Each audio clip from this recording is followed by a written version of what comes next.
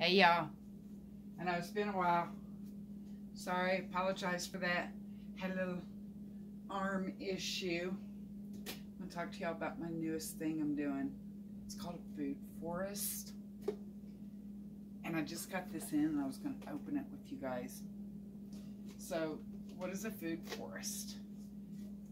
I live in a really dry climate, so I'm gonna be combining some food forest ideas with some hugelkultur ideas. Hugelkultur, that's another one. What is that? So hugelkultur will help me retain some of the moisture when we do get it, um, as well as feed the soil that's going to feed all of my plants.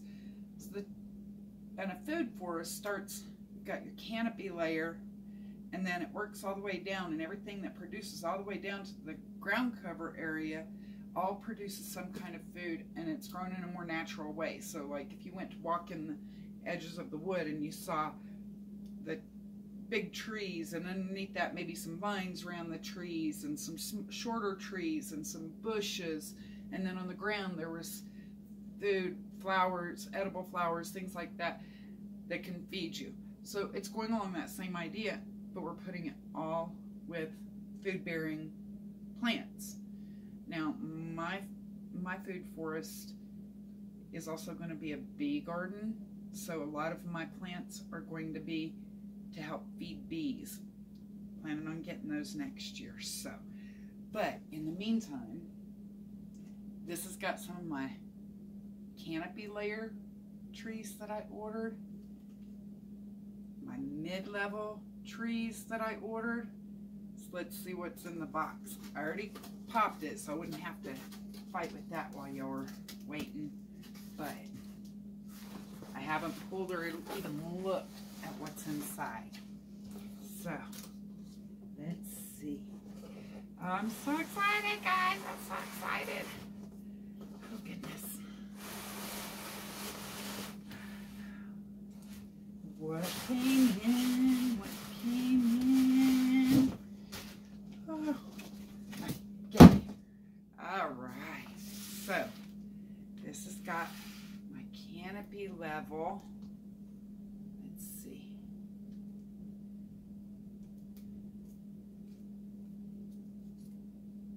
Yeah. Okay. So, this is a Bartlett pear. This one over here in the big, that came in the big bucket.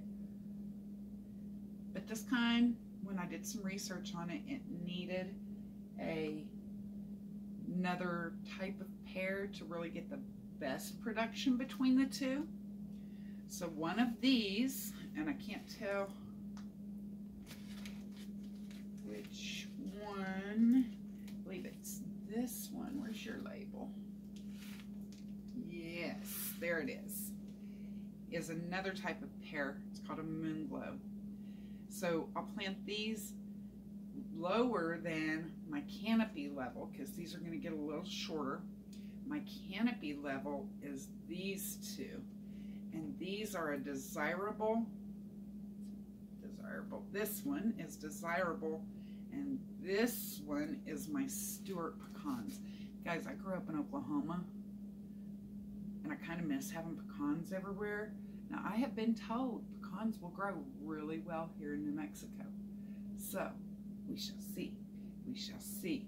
I hope so because I love pecans and I kind of miss well, pecan picking. And I know it's going to be a few years before I get some, but I'm on my way. I'm on my way.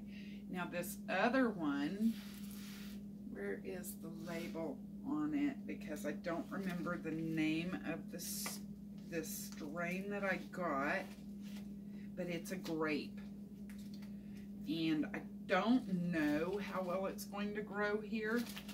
So I did some research and I found one that says that it can grow in my growing region. So if it does well, I'm probably going to get some more of these because I love grapes. I said I don't remember the name of this one though I found my tag.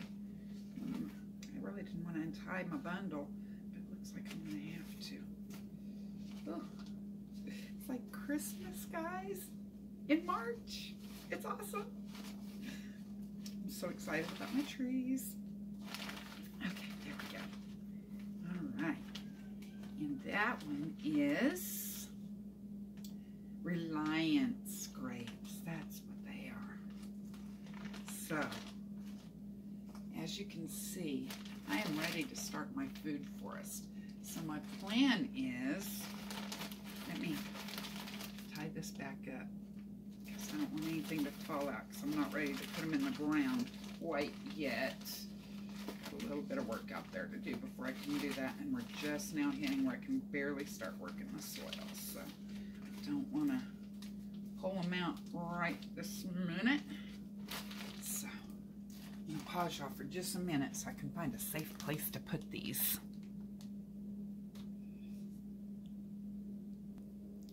Okay, so the idea is my pecan trees are going to sit like, okay, you can't see my hands, here and here.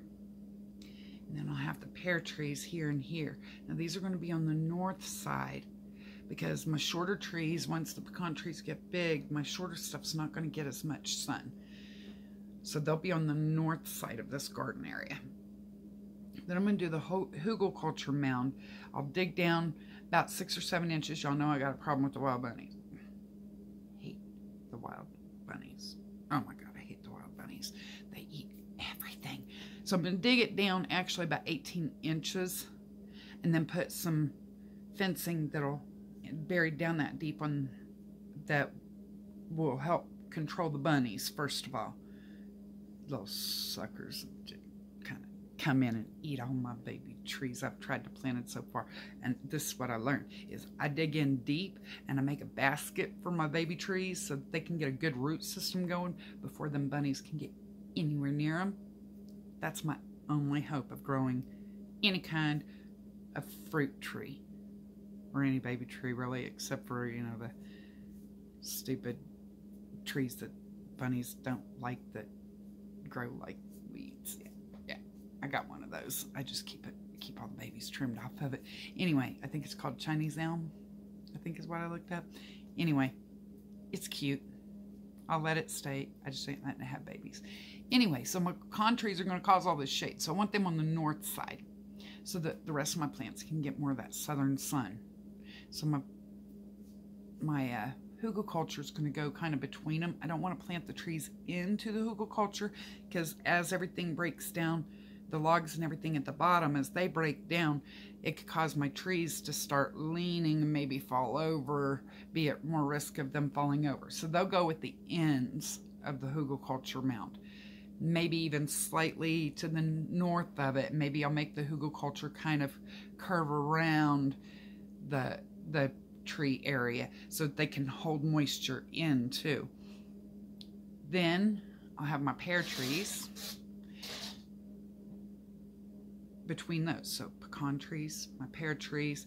My pear trees can handle a little bit more shade than, than the pecans, but not a whole lot. So I don't want to put them too far into their shade. I still want them to have some sun. So they're going to be slightly between and slightly south of my pecan trees so that they at least get that sun coming in from the side even after the pecan trees get really big.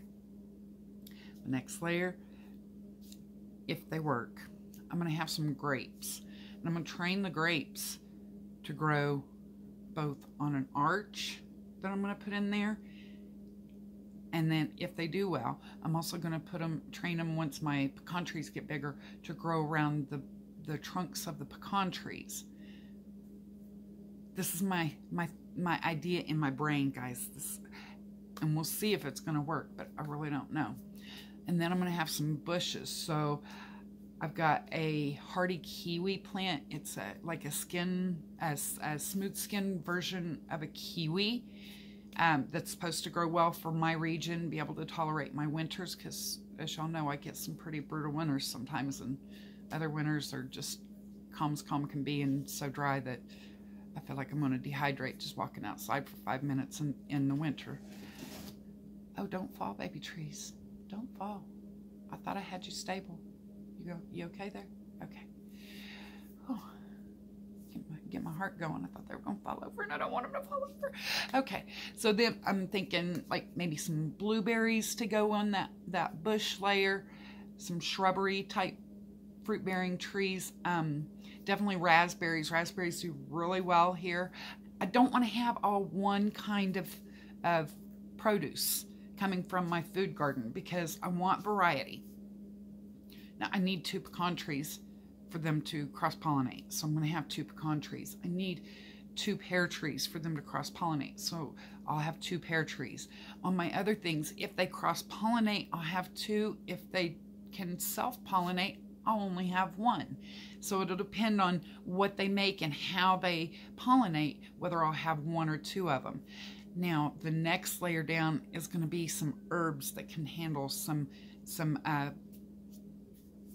cover, some some shade. So I'm going to put like some rosemary, if I can get one to grow big enough to survive my winters before I put it outside, that is. I keep putting them out too early, and then I need to remember to put them out in the spring into the ground but I typically remember like midsummer and then put them in. And well, that doesn't give them enough time to get a good root system before the winter hits. And then I end up killing them and getting mad at myself over and over because I keep doing this. I don't know what my problem with it is, but I keep doing this. So my plan is to get it in early spring next year.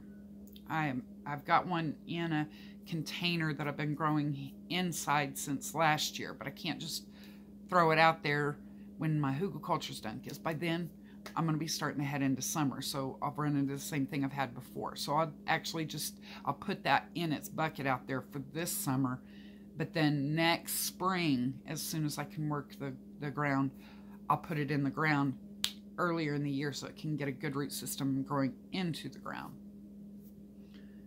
and then I'll have chives because they do well in spring I mean in in a in my winter. They grow early in the spring. They grow late into the fall if they don't get too overheated.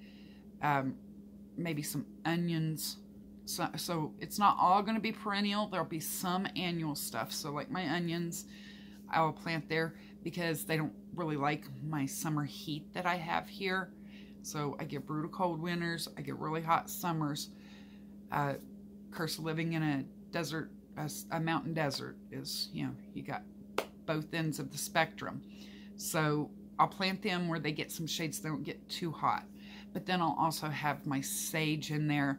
Um, I've got to hook up. I'm going to get some white sage that I'm going to put in there. Um, a couple of other things that I've got plans on for putting in there. And I'm still researching some others that I'm not real sure how well they do in shade. But if they'll do okay in shade, I'll put those in there. And then the, you come down to the ground, the ground cover level and I have ordered some red and white clover. Now, bunnies like clover. So my hope is it's not just going to be in my food forest area that I'm going to put this clover. I'm going to put this stuff all over my yard. And my hope is that if I can get enough clover growing to feed these freaking wild bunny enemy of mine, they will find enough food in that clover to leave my gardens alone. So that's my hope. Y'all hope with me that please let this work because I'm running out of ideas and I, have lost track of how many I've had to shoot and I don't want to keep shooting them because we can't really eat them here because we have things that bunnies get like bubonic plague in this area. Yeah, it's still out there, guys. It's still out there. So we can't eat them safely. Some people say certain times of the year you can. I'm not willing to risk that. Yeah, I just, no, not willing. So I'm trying to find a way to still feed the bunnies because the wild bunnies do have a purpose here. We also have coyotes. Well, as long as there's a good wild bunny population, those coyotes feed on those wild bunnies and leave my chickens and goats alone. So I don't want to eradicate those wild bunnies either. I just want them to stay the hell out of my gardens. So I'm going to plant a lot of this clover and hopefully that will work to feed them enough that they won't mess with my garden as much. That's my hope. I'm also going to be planting a lot of, of things into my food forest area that bunnies don't particularly like the smell of. So that's where the rosemary and the sage and the onions and the chives come in. They don't particularly like that smell. Now, my experience so far has been that depending on the onion, these little suckers will eat my onions. So I'm not going to be planting red onions, yellow onion, no, none of the sweeter onions. Um, my onions I'll plant in that area are going to be the really strong smelling onions to maybe help deter. Might plant some garlic out there too.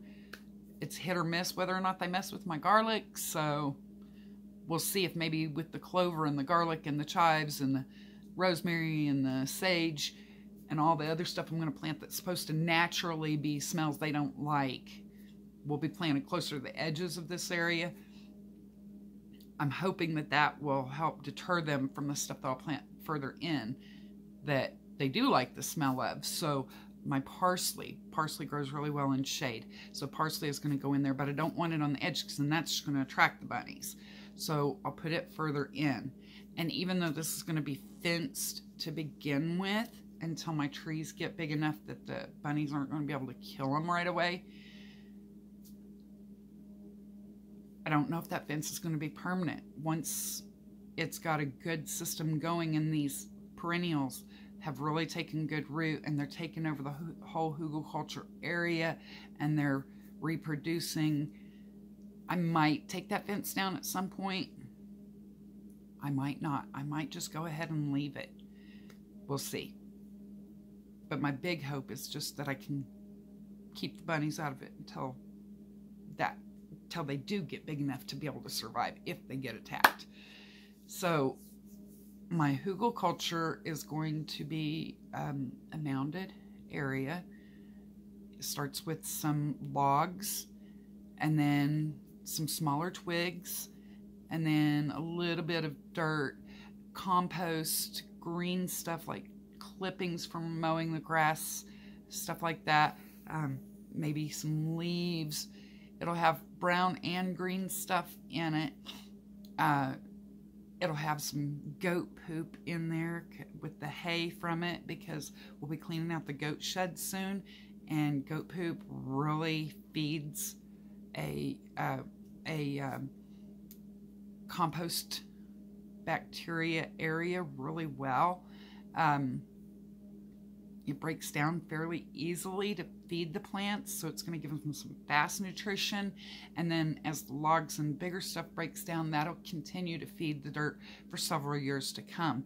Now, at some point, I might have to add more fertilizers or whatever, but my hope is that by the time all the hugel culture, the logs and stuff break down, that from the leaves falling from the trees, it's creating its own area. I'm not cleaning this out, guys. This is not something they're going, oh my God, leaves, great, great, great. No, no, I'm not doing that. The, because the leaves are going to create a natural mulch. They're going to break down and that's going to feed into the soil of the hugel culture. So hopefully it'll be a whole self-sustaining system and that's the idea behind a food forest is that it kind of self-sustains feeds itself what one needs one plant needs another plant gives so that it's not getting all the nutrients sucked out of it either. It's feeding itself through my planning of what lives well in that area and can provide what the other things need. Now clover also puts a lot of nitrogen in the ground so that to me is just it's a natural to have that as my ground cover layer versus some of the other ground covers that I kind of considered, and clover's edible, whereas some of the other ones I might have considered might not have been edible. Now, I have considered possibly growing some root type vegetables or herb type stuff in there, but then I would have to dig it up. So, I haven't really decided on that, what I'm going to do for things that would grow food below the soil because below the soil is another another level of a food forest. So maybe, maybe not. I might put some strawberries for part of my ground cover. I don't know. If I do that, I'm going to have to have a way to block the clover from taking over until the strawberries can really take over. But honestly, I've not really had a lot of good luck with strawberries here, so that probably is not going to be a really great option for me. We'll see. Um, what else? What else? Mm, I talked about my arch. If I can't get grapes to grow here, I'm debating on what kind of viney type fruit bearing thing that I'll put on that arch. But my brain, yeah, it's not normal. I'm not going to call it fantastic because my brain kind of really sucks a lot of times. My idea, I've got these big pecan trees, my smaller pear trees, or other fruit trees. I might get apple trees, although there's plenty of apple trees around here. I might put apple. I haven't decided yet. Plum, I've, I've got a hookup for some plum trees, so they might go in there. In fact, they will because I like plums and they would fit that layer too. Um, anyway, and they don't mind too much shade. They, they're okay in a little bit of shade. They naturally will grow under bigger trees anyway out in the wild. So that's that's a good one too for me to have in there is some plums. But then amongst all these trees, I want this arch. Something growing up it. It's all pretty and makes food. So if my grapes don't want to live here, give me a comment below and tell me what kind of viney fruit bearing thing you would you think would work well in a food forest and give me some ideas of what will work if my grape idea doesn't work. Okay? Y'all have a good day.